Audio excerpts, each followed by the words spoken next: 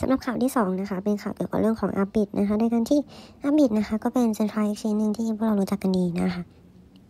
ซึ่ง Upbit นะคะก็เป็นอืม exchange ที่มีชื่อเสียงเป็นอย่างมากนะคะในทวีปเอเชียนะคะ แล้วก็ในทวีปเอเชียนะคะ Upbit มีชื่อเสียงเริ่มต้นนะคะ จากประเทศเกาหลีใต้นะคะ แล้วก็เขาก็ได้ขยายสาขานะคะ ไปประเทศอื่นๆนะคะ ยกตัวอย่างเช่น ก็มาประเทศไทยด้วยนะคะ แล้วก็อัปิดนะคะก็แน่นอนว่าแม้ว่าจะมีคนไทยใช้เงินอัปิดน้อยกว่าบิตครับนะคะ หรือว่าน้อยกว่านะคะไ i แนนซ์นะคะ แต่ว่าอัปิดนะคะก็เป็น exchange exchange ที่สามนะคะ ที่ว่าในเดือนนี้นะคะ ตุลาคมนะคะ 2023 นะคะ ก็ ได้รับการรับรองว่าผ่านกรตสิงคโปร์นะคะ คือกรตสิงคโปร์นะคะ ก็ใช้ชื่อว่า MAS นะคะ Monetary Authority of Singapore นี่คือชื่อตัวเต็มนะคะ MAS ของสิงคโปร์นะคะ ก็ได้ทำการอนุญาต exchange ต่างๆ มากมายนะคะ หากดูเทียบกับประเทศไทยนะคะ ประเทศไทยไม่ค่อยสนับสนุนคริปโตเคอเรนซีสักเท่าไหร่นะคะ เพราะว่าเป็นอะไรที่มันดิเซนทรัลไลซ์มากๆ ในทุนไม่ได้ได้ประโยชน์นะคะว่าคนทั่วไปได้ประโยชน์มากกว่านะคะ แล้วก็เทคโนโลยีดีขึ้น ประชาชนทั่วไปมีชีวิตที่ดีขึ้น แต่ว่าในธนาคารหรือในทุนไม่ได้แบบว่ามีคุณภาพชีวิตที่เหนือขึ้นกว่าเก่านะคะ เขาก็เลยไม่ค่อยสนใจคริปโตเท่าไหร่นะคะเพราะว่าสิบเอ็กชแนที่รับการรับรองโดยกรตไทยนะคะ ก็มันก็มีอยู่แค่นั้นนะคะ แต่ว่าสิงคโปร์หรือฮ่องกงหรือพวกดูไบหรืออะไรอย่างนี้นะคะ มันคือประเทศที่แบบว่า พอมีนะคะ ในเรื่องของการออกนะคะเอ็กชแนนใหม่ๆ ขึ้นโดยภาคส่วนธุรกิจนะคะ ก็ไปขออนุญาต และการขออนุญาตมันก็ง่ายมาก แล้วมันก็ประสบความสำเร็จได้อย่างง่ายมากนะคะทำให้คนในประเทศมีเป็นหนึ่งร้อยแบบหลายร้อย exchange ในการเลือกเทรดคริปโตนะคะ เทรดอะไรก็ได้ที่คุณชอบมากที่สุดนะคะ แล้วก็ความ centralize ของ centralized exchange นะคะ ความรวมศูนย์ของแบบ exchange ที่เป็น centralize นะคะ มันก็จะน้อยลงกว่าเดิมนะคะ มันก็จะไม่มากเท่าที่แบบประเทศเอ่อที่มีเอ็กชแนนน้อยๆนะคะ เขามีกันนะคะยกตัวอย่างเช่นอ่าถ้ามีทั้งหมด 10 exchange ในประเทศนะคะ แล้วก็มีเงินในคริปโตในประเทศทั้งหมด 100 ล้านบาท ก็เฉลี่ยอ๋อ exchange หนึ่งมีเงิน 10 ล้านบาทใช่ไหมคะ แต่ว่าถ้ามี 100 exchange ก็เฉลี่ย exchange หนึ่งมีเงิน 1 ล้านบาท ซึ่งตรงนี้การกระจายส่วนอำนาจมันก็จะเป็นเรื่องที่ดีกับประเทศสิงคโปร์นะคะ ประเทศสิงคโปร์มีเอ่อ MAS นะคะ ซึ่งค่อนข้างใจดีกับคริปโตนะคะ แล้วก็นั่นก็เลยเป็นเหตุผลที่ทำให้อัมบิดนะคะ ซึ่งเป็น exchange ชื่อดัง exchange หนึ่งนะคะ ได้รับการอนุญาตนะคะ ได้รับใบอนุญาตเป็นทางการในประเทศสิงคโปร์แล้วนะคะ แล้วก็ ตรงนี้อาปิดนะคะได้ยังเจ้าของใหญ่ยังเป็นเกาหลีใต้อยู่นะคะ แล้วก็เปิดสาขาย่อยคืออาปิดสิงคโปร์นะคะ ซึ่งตรงนี้อาปิดสิงคโปร์ก็กล่าวนะคะ บอกว่าเขาได้รับใบอนุญาตเรียบร้อยแล้วในวันที่ 16 ตุลาคมที่ผ่านมานะคะ แล้วก็ตรงนี้เนี่ยนะคะก็การอนุญาตนี้ทำให้ฮับปิดนะคะกับ Coinbase กับ blockchain.com นะคะ เป็น 3 exchange ที่ได้รับอนุญาตอย่างเป็นทางการอย่างถูกต้องในเดือนตุลาคมนี้นะคะ ว่าสามารถที่จะให้คนประเทศสิงคโปร์เทรดได้นะคะ คุณอเล็กซ์คิมนะคะ CEO ของ Upbit สิงคโปร์นะคะ ก็บอกว่าตรงนี้เนี่ยการมีนวัตกรรมใหม่ๆ ด้านสินทรัพย์ดิจิตอลนะคะ สิงคโปร์อยากที่จะมาเป็นส่วนกลางในการพัฒนานวัตกรรม เกี่ยวกับเรื่องคริปโตเคอเรนซีเกี่ยวกับเรื่องสินทรัพย์ดิจิตอลที่เข้มแข็งนะคะ แล้วก็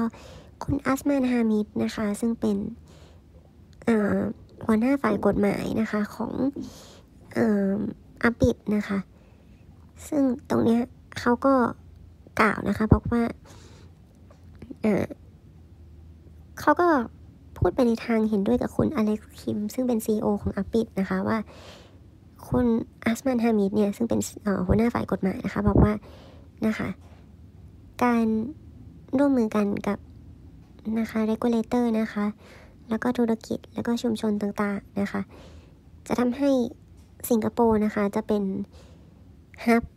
ในการพัฒนานะคะ เป็นแบบศูนย์กลางในการพัฒนาธุรกิจด้านการเงินที่ทำให้คนรุ่นต่อไปเนี่ยทำให้ประเทศสิงคโปร์คือมีความเติบโตที่เข้มแข็งที่ก้าวหน้ามาก ๆ เลยนะคะ คือเรียกได้ว่าเขาต้องการจะเป็นศูนย์กลางในเรื่องการพัฒนาเทคโนโลยีที่เกี่ยวข้องกับคริปโตเคอเรนซีที่ยิ่งใหญ่ในทวีปเอเชียเลยนะคะ ซึ่งตอนนี้ก็มีเกาหลีใต้ฮ่องกง สิงคโปร์อย่างนี้นะคะ เป็นผู้นำในด้านเทคโนโลยี ด้านคริปโตเคอเรนซีนะคะ ซึ่งไทยก็ทำได้แหละนะคะ เรามีคนเรามีดีมานนะคะ เรามีเงินนะคะ แต่ว่า ตัว authority เราอาจจะยังไม่ยอมเท่าไหร่นะคะ ก็เลยอยากจะทำให้ ถ้าเราไม่ได้มองในตอนนี้แต่ว่ามองแบบสิบปีข้างหน้ายี่สิบปีข้างหน้านะคะ สิงคโปร์อาจจะแซงเราในเรื่องนี้นะคะ ซึ่งตรงนี้นะคะอาปิดนะคะเป็นหนึ่งใน exchange ที่ใหญ่ที่สุดของเกาหลีใต้นะคะ แล้วก็อาปิดนะคะก็มี trading volume นะคะ ที่เป็นถ้าเทียบ centralized exchange ทุก exchange นะคะ ดมี trading volume มากกว่า OKX อีกนะคะ แล้วก็มากกว่า Coinbase อีกนะคะ ถ้าเทียบกันแบบระดับโลกนะคะทั่วโลกคนใช้อาปิดมากกว่า OKX นะคะ มากกว่า Coinbase นะคะ แต่ว่าก็ยังน้อยกว่า Binance อยู่นะคะ ซึ่งตรงนี้สิงคโปร์นะคะก็มีชื่อเสียงนะคะ เกี่ยวกับเรื่องของการที่มีกฎหมายที่ชัดเจนนะคะทำให้ หลายบริษัทที่ข้องกับดิจิทัลแอสเซทนะคะ ก็เลือกสิงคโปร์นะคะ เป็นเมืองที่แบบเป็นประเทศแล้วก็เป็นเมืองที่ต้องการจะมาลงทุนในการพัฒนาคริปโตเคอเรนซีต่อไปนะคะ ซึ่ง MAS นะคะทำให้อ่า Ripple แล้วก็ Circle นะคะ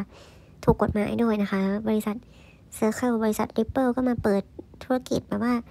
ขายคริปโตในประเทศสิงคโปร์ได้นะคะ ทำให้ตอนนี้นะคะ Exchange นะคะถ้าของไทยก็มีประมาณ 10 Exchange ที่ถูกกฎหมายในไทยนะคะ ใช้ได้จริงใช้ดีจริงจะถึง 10 หรือเปล่านี้ดูกันอีกทีนะคะ แต่สิงคโปร์มีทั้งหมด 15 Exchange แล้วนะคะ ก็ตอนนี้ก็เป็นหนึ่งในประเทศผู้นำในด้าน digital asset นะคะ ก็ตรงนี้บริษัท Henley นะคะ and Partners นะคะ กล่าวว่า ประเทศสิงคโปร์นะคะก็ต้องชื่นชมกฎหมายของเขานะคะ มีความไม่เข้มงวดมากเกินไปนะคะ แล้วก็ปกป้องความปลอดภัยของผู้ใช้งานได้ดี แต่ว่าก็ไม่ได้เข้มงวดไม่ได้ใจร้ายกับบริษัทคริปโตมากเกินไปนะคะ แล้วก็เน้นย้ำในเรื่องของการนะคะพัฒนาเทคโนโลยีและนวัตกรรมที่ก้าวหน้าให้มากขึ้นนะคะ สำหรับข่าวที่2นะคะเป็นข่าวเกี่ยวกับเรื่องของอาบิดนะคะในการที่อาบิดนะคะก็เป็นเซ็นทรัลเอ็กชแนนหนึ่งที่พวกเรารู้จักกันดีนะคะ ซึ่งอาบิดนะคะก็เป็นอืมเอ็กชแนนที่มีชื่อเสียงเป็นอย่างมากนะคะในทวีปเอเชียนะคะ แล้วก็ในทวีปเอเชียนะคะอ่ออาบิดมีชื่อเสียงเริ่มต้นนะคะจากประเทศเกาหลีใต้นะคะ แล้วก็เขาก็ได้ขยายสาขานะคะ ไปประเทศอื่นๆนะคะ ยกตัวอย่างเช่น ก็มาประเทศไทยด้วยนะคะ แล้วก็อาบิดนะคะก็แน่นอนว่าแม้ว่าจะมีคนไทยใช้งานอาบิดน้อยกว่าบิดครับนะคะ หรือว่าน้อยกว่านะคะไบแนนซ์นะคะ แต่ว่าอาบิดนะคะก็เป็น Exchange Exchange ที่สามนะคะที่ว่าในเดือนนี้นะคะ ตุลาคมนะคะ 2023 นะคะ ก็ ได้รับการรับรองว่าผ่านกรตสิงคโปร์นะคะ คือกรตสิงคโปร์นะคะ ก็ใช้ชื่อว่า MAS นะคะ Monetary Authority of Singapore นี่คือชื่อตัวเต็มนะคะ MAS ของสิงคโปร์นะคะ ก็ได้ทำการอนุญาต exchange ต่างๆ มากมายนะคะ หากดูเทียบกับประเทศไทยนะคะ ประเทศไทยไม่ค่อยสนับสนุนคริปโตเคอเรนซีสักเท่าไหร่นะคะ เพราะว่าเป็นอะไรที่มัน decentralized มากๆ ในทุนไม่ได้ได้ประโยชน์นะคะเพราะว่าคนทั่วไปได้ประโยชน์มากกว่านะคะ แล้วก็เทคโนโลยีดีขึ้น ประชาชนทั่วไปมีชีวิตที่ดีขึ้น แต่ว่าในธนาคารหรือในทุนไม่ได้แบบว่ามีคุณภาพชีวิตที่เหนือขึ้นกว่าเก่านะคะ เขาก็เลยไม่ค่อยสนใจคริปโตเท่าไหร่นะคะ เพราะว่าสิบ exchange ที่รับการรับรองโดยกรตไทยนะคะ ก็มันก็มีอยู่แค่นั้นนะคะ แต่ว่าสิงคโปร์หรือฮ่องกงหรือพวกดูไบหรืออะไรอย่างนี้นะคะ มันคือประเทศที่แบบว่า พอ